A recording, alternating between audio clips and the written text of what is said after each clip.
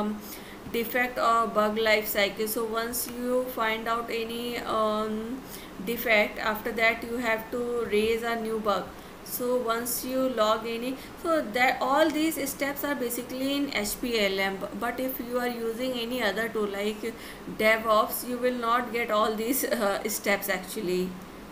Okay there we have only one or three options like uh, assigned done that's it but in HP ALM you will get all these steps like new assigned open fix uh, pending uh, retest uh, retest verified closed.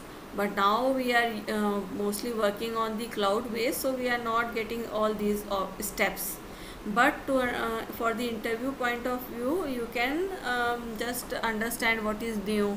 If you have assigned a new bug that status should be new. If you assigned it to any developer you will change that status to assigned and the uh, name of the developer. Later that uh, after assigning you have to change the status of the bug to open so if it's a valid uh, bug uh, they will fix it otherwise they will reject it.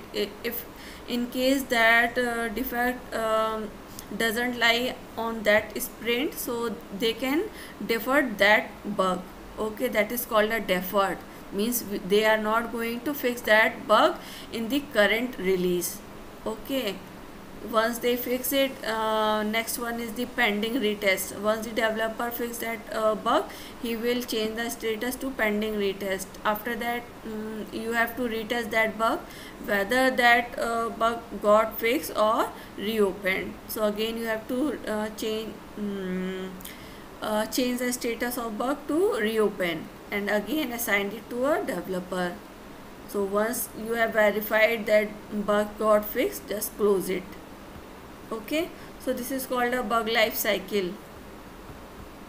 Uh, madam in deferred as you said the uh, developer may not fix the uh, defect in current uh, sprint. So what should be the reason reason can be any like sometime environment related issues we are getting like or maybe sometime uh, whatever uh, data you are testing in any specific environment same kind of data we are not getting in production okay or any other uh, pre-prod environment. So uh, in that case they can defer that uh, bug okay so once uh, they can just mention once we get uh, same kind of data we'll fix it. Otherwise if the same kind of setup is not present in the current working environment they mark it as a default. And